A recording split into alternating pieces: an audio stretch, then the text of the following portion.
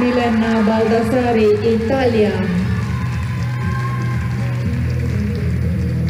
A fost încurajată să se implice în sport de cel mai bun prieten al mamei sale, care era instructor de gimnastică ritmică.